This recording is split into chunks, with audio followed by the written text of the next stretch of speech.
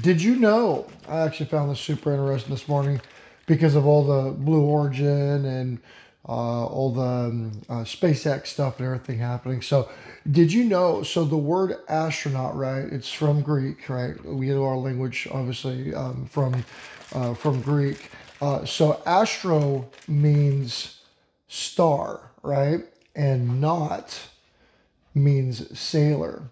And so, the word astronaut effectively means a star sailor.